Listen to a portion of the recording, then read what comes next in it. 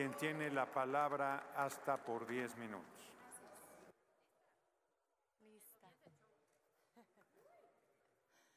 Gracias, presidente, con el permiso del pueblo de México. Decirle al pueblo de México qué estamos discutiendo el día de hoy.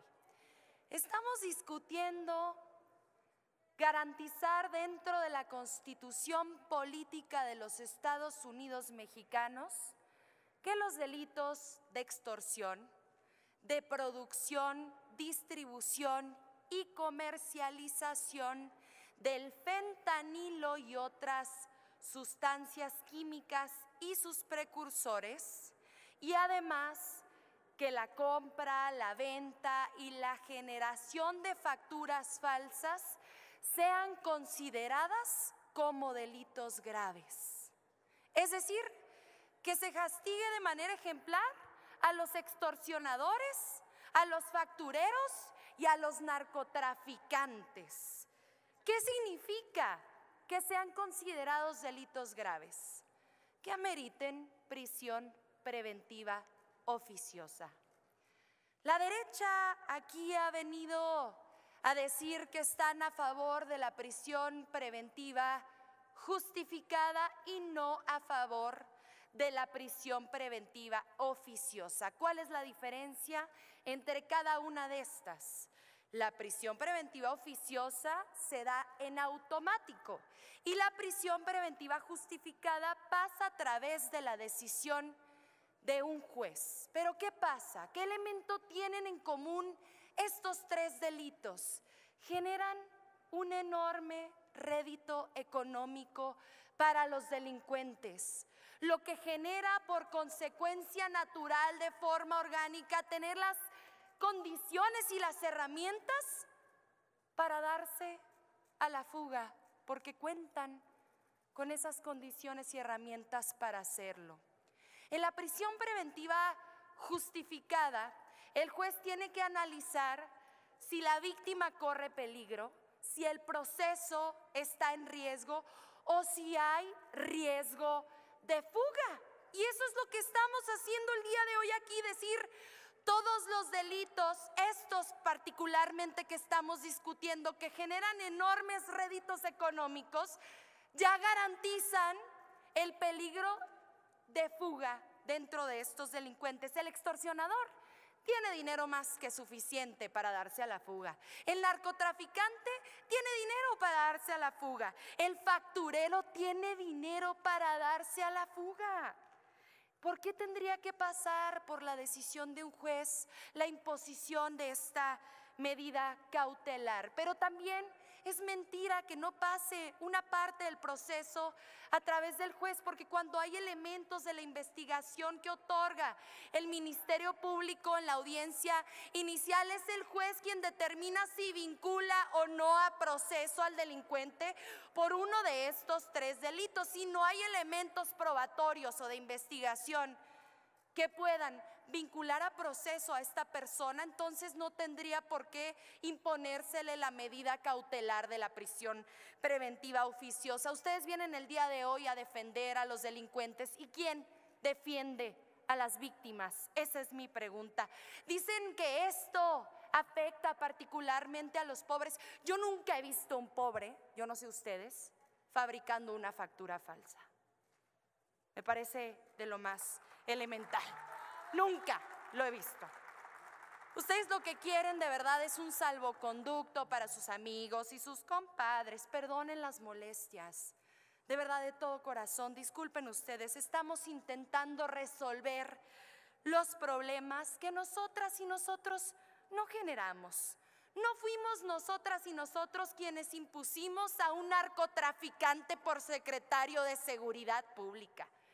No fuimos nosotros quienes declaramos una guerra absurda para legitimar a un presidente enanito, chiquito, pequeñito, autoritario y belicista tras su fraude electoral. No fuimos nosotras y nosotros quienes autorizamos que pasaran miles de armas de uso exclusivo del ejército de forma ilegal, como sí hicieron ustedes a través de su operativo rápido y furioso. Déjenme les doy una noticia.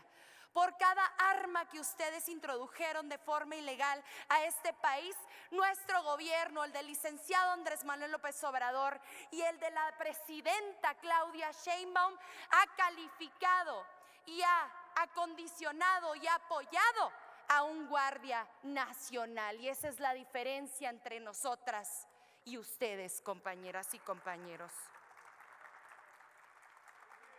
Nosotros no tuvimos la culpa de nada de esto, pero sí asumimos nuestra responsabilidad atendiendo las causas que generan esta violencia con programas para las juventudes, con sus becas, con los apoyos para personas con discapacidad, con la pensión para adulto mayor, con Sembrando Vida, con producción para el bienestar, con todos los apoyos que ayudan a la gente a salir adelante, a salir de la pobreza.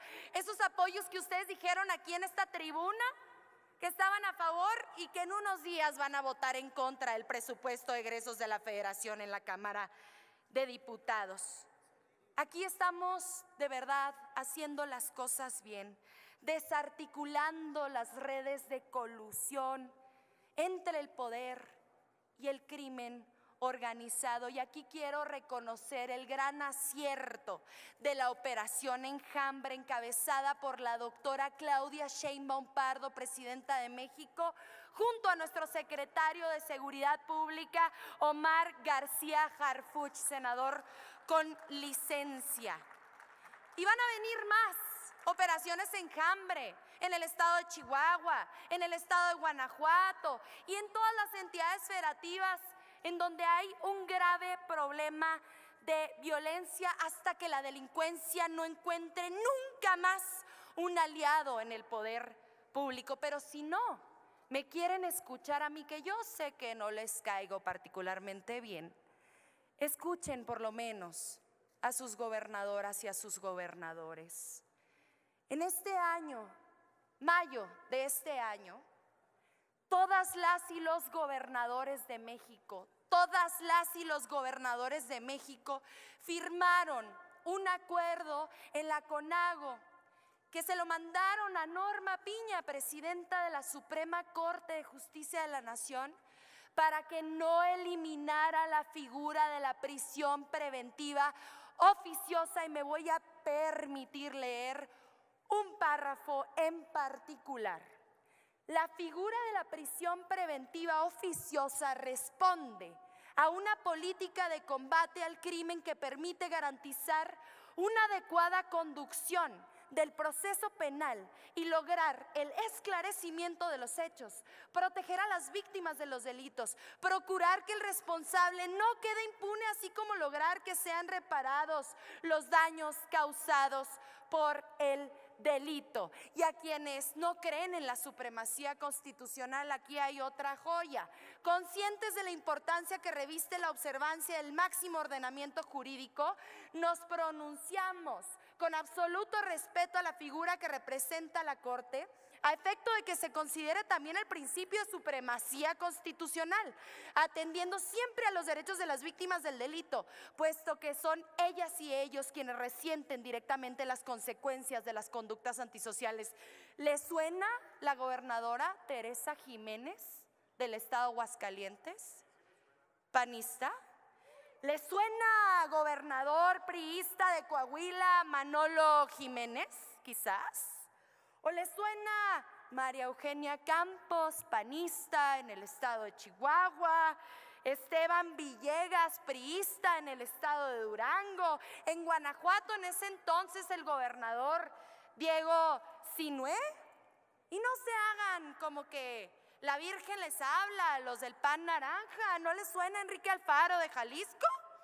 ¿No les suena Samuel García de Nuevo León?